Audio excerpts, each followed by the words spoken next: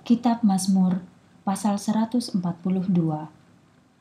Nyanyian Daud Doa Daud ketika di dalam gua Aku berseru kepada Tuhan, aku memohon kepada Tuhan untuk menolong aku.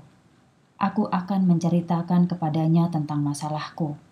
Aku menceritakan kepadanya tentang kesulitanku. Aku siap menyerah, tetapi Engkau Tuhan tahu di mana jalanku, dan Engkau tahu bahwa musuhku telah memasang jerat terhadap aku.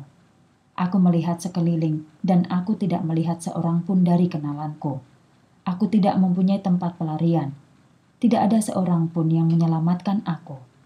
Tuhan, aku berteriak kepadamu minta tolong. Engkaulah tempat perlindunganku. Hanya engkaulah yang kubutuhkan dalam hidup ini. Dengarkanlah doaku. Aku sangat lemah. Selamatkanlah aku dari orang yang mengusir aku. Mereka lebih kuat daripadaku. Tolonglah aku melarikan diri dari jerat itu supaya aku dapat memuji namamu. Dan orang baik akan merayakannya bersama aku, karena engkau memelihara aku.